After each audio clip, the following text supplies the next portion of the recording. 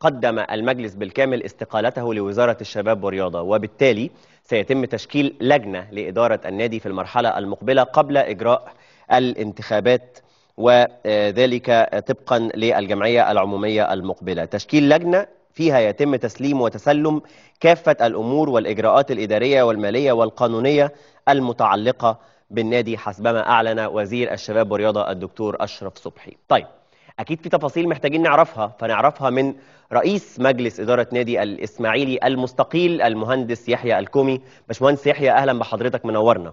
أهلا بيك هاني بيه أهلا بيك. أهلا وسهلا بيك طيب. وحضرتك طيب ويا رب سنة سعيدة على حضرتك. علينا وعليكم وعلى كل شعب مصر كل العظيم. يا رب يا رب. وبعد أسبوع واحد من السنة الجديدة تقدمتم بالاستقالة. إيه أسباب هذه الاستقالة باشمهندس يحيى؟ والله بص الاسباب كثيره يعني. أنت عارف طبعا النتائج هي أساسا ولكن سوء النتائج طبعا. ده شيء طبيعي متوقع الناس طبعا بتبقى سيئة وكذا وده شيء متوقع يعني. فإحنا طبعا آه، للأسف الشديد آه، يعني إحنا حاولنا كتير وصرفنا من جيبنا تقريبا وصلت إلى فوق ال 20 مليون جنيه يعني وصلت أكتر من كده.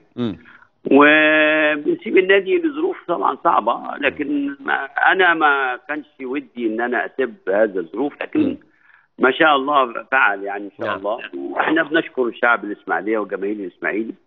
وبنشكر يعني يعني القيادة السياسية ومعالي رئيس الوزراء ومعالي الوزير وكل الناس مم. والمحافظ كلهم ساهموا وحاولوا نعمل أي حاجة بس يعني ما جاتش الآخر في اللعيبة هي اللي بتلعب والنتائج هي اللي بت...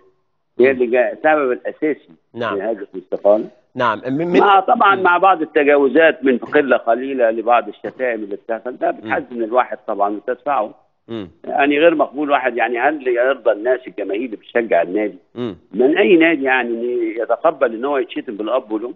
أنا عايز أسأل واحد من اللي بيشتمنا ده مم. هل تقبل هذا؟ واحد آه يعني أنا واحد من الناس رئيس النادي.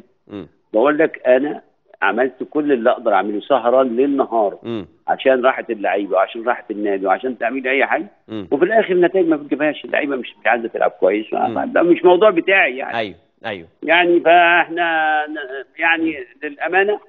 لكن أنا إحنا شايفين ما فيش يعني. فاحنا اتفقنا النهارده مع معالي الوزير إن إحنا نشكل لجنة أيوه من وزارة الشباب والرياضة أيوة. أساسا مم. لنعمل نعمل فحص ونعمل جرد لمحتويات ومعاملات النادي أيوه واللجنة دي هتكون شكلها زي ما قلت لحضرتك قانونية وإدارية ومالية مم. واللجنة دي هي اللي تعمل محضر استلام والتسليم وتخلي طرفنا إن شاء الله وذمتنا من هذه المعاملات تمام بس وربنا يوفق الإسماعيلي وبشكر الجماهير وبشكر الناس كلها. ونتمنى لكم التوفيق يعني ونتمنى لكل المنظومة الرياضية التوفيق في مصر إن شاء الله. يا رب بإذن الله والإسماعيلي يعود بإذن الله بأي شكل من الأشكال إلى وضعه الطبيعي. باشمهندس يحيى إيه اللي دار النهارده في اجتماعكم مع وزير الشباب والرياضة؟ ربما على مستوى الصعوبات اللي أبلغتوه بيها أو على مستوى رد فعله أو اللجنة المحتمل أن تتشكل خلال الأيام اللي جاية؟ لا اللجنة هي دي شيء إداري بحث حسب اللائحة امم عشان تعمل محضر استلام وتسليم مننا.